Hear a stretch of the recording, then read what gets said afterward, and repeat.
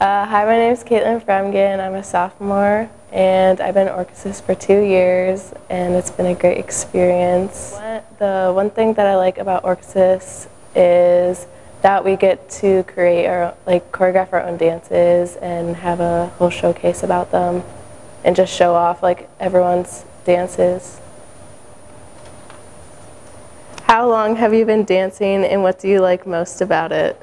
I've been dancing since I was five, and the one thing that I like most about it is that if I'm having a rough day or just something rough is like bad is happening, then I can just go and dance and forget about it.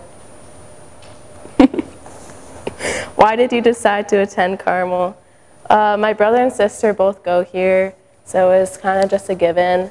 But one of the main things was the community and actually Orchesis because my sister did Orchesis too, and it intrigued me. How would you describe Carmel to a middle schooler? Um, it's very welcoming, and you can uh, easily fit in here and find a club, sport, or fine arts that will help you feel welcomed.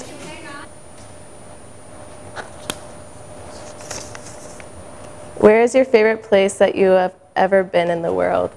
Uh, definitely the U.S. Virgin Islands, uh, specifically St. Thomas.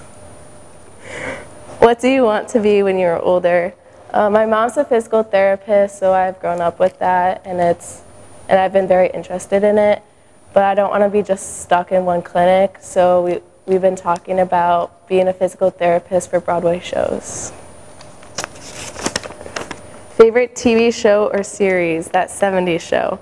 Most exciting thing you did last summer? Uh, I did a musical. Favorite type of dance? Jazz. Favorite ice cream flavor, mint chocolate chip. Donut or croissant, donut. Favorite thing in your closet right now? Uh, my jumper.